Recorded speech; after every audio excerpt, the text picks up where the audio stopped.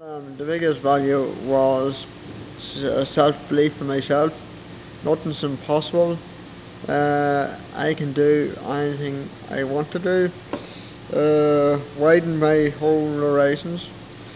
And uh, it also physically uh, showed me that I could work around my uh, limitations and um, uh, get out there and be a member of the community the same as anybody else if the, uh, if the school was to close, the pure the poor uh, pupils that uh, is out at the minute, they would be losing out uh, uh, very much because they would not get the same um, uh, training in in overcoming their disability in any other special school or in any other form of education, and that would be the biggest downfall to them. uh, and, your and their life uh, going forward. It's no good looking at the short term uh, monetary ga- ga- savings.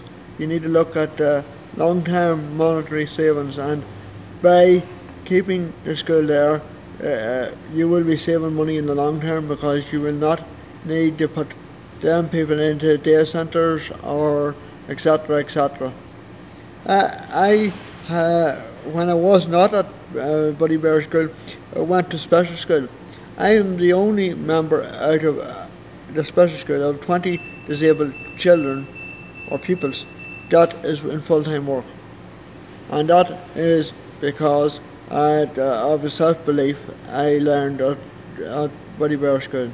I, my whole belief was there's nothing my, my mates uh, was doing that I couldn't do. So that's uh, the whole uh, five, six years ago, the rest of the boys was in property development, I joined them, yeah. I have said this a number of times. Conductive education is not a miracle cure. But for children and people with cerebral palsy, it's the best that's available at this minute in time. And that is why it's very important that the school is funded and the school is kept open.